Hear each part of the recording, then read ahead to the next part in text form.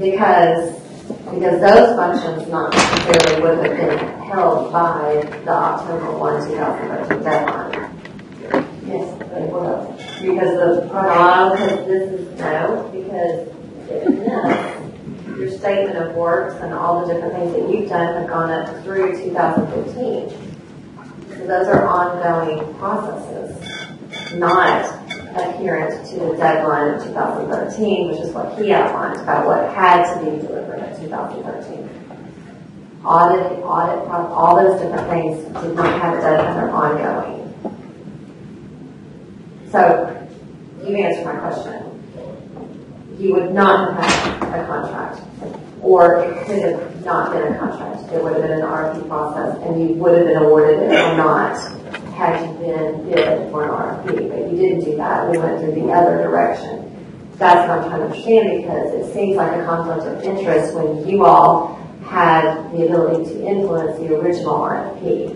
And that's the problem I'm having. and, and that's exactly the reason why CMS and, and other government agencies always separate anything having to do with project management or IV&V or. Well, I understand that. I'm talking about your CAI's influence or work on the original RFP and then how this kind of cut bungled and then went over this way. I'm trying to understand that. And it seems like you benefited greatly from us not awarding it to a vendor.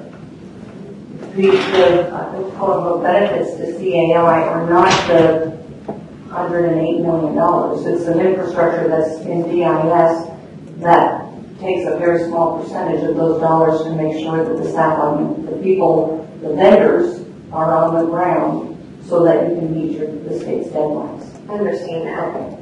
What I'm saying is, if you had influence in creating RFP, this gets back to Representative Walker, Senator Chesterfield's of questioning, and I'll let this go, know everybody's hungry for lunch. But again, if you had direct influence on the language of the creation of the RFP, which precluded even bidding on the RFP, and then an RFP had gone to a vendor, you may not have had the contract that you had. But what happened was, we didn't get a vendor, we couldn't go to the second vendor. Not sure why, we, we have that, Office of State Procurement, all those questions out there. But then it went to you to fill all these holes, which you benefited from financially. So there, there is where it lies for me, a conflict, a conflict of interest. Because it went down the path that benefited you the most. And that is problematic. And I don't know why that decision was made, who made that decision, again, why it was made. It just seems like that happened. And not necessarily just y'all benefited, I think there were a lot of others that benefited because of the lack of, the lack of guidance within the contract, the lack of, um, not being able to find where we can hold people accountable for the deliverables and, and seek recoupment from them. That, that that's where I'm trying to find and understand why it was done this way.